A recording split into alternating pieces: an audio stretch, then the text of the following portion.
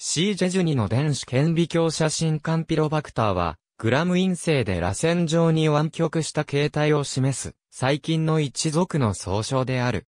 一般的には1982年に食、中毒菌として指定された、キャンピロバクタージェジュニとキャンピロバクターコライを指すなど、カンピロバクター症の原因菌として呼ばれることが多い。学名はギリシア語で、曲がったを意味する形容詞、カッパアルファミューパイラムだと、ラテン語で、細菌を意味する、バクターを合成したもので、曲がった細菌という意味を持つ。ラテン語の発音を転写すると、カンピュロバクテールである。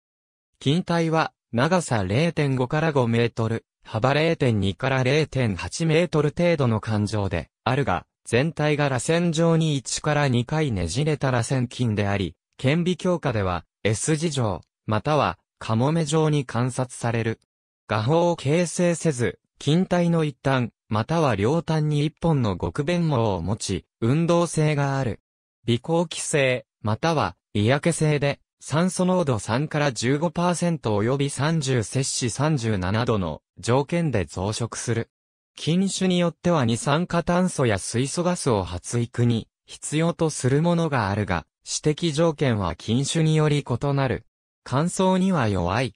カンピロバクター属菌は一般に動物の腸管、生殖器、高校などに常在する獣医師の間では家畜類の流産菌として約100年前から知られていた。2007年現在、カンピロバクター属は17菌種6亜種3生物型を確認している。一部 C ジェジュニ、C 古来は人の食中毒の原因となる。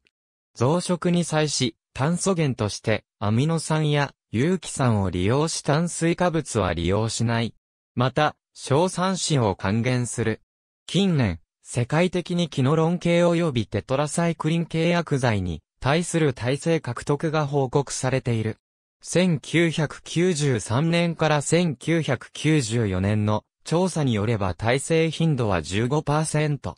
特に薬剤投与歴のない人の下痢患者から耐性菌が分離されており、家畜由来の耐性菌であると考えられている。ありがとうございます。